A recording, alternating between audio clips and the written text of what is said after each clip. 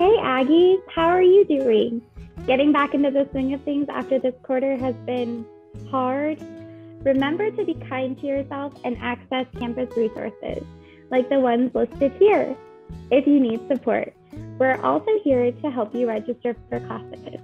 Right now is Pass one, and if you've got questions, email us or reach out to your Majors advisor. In this month's email, we're highlighting the academic calendar.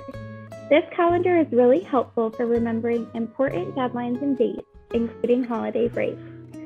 Speaking of taking a break, join Dean Dillard at Chat with the Dean this month to chat about all the services available at Shields Library. We'd love to see you there. I hope you have a great November. And remember, go Ags!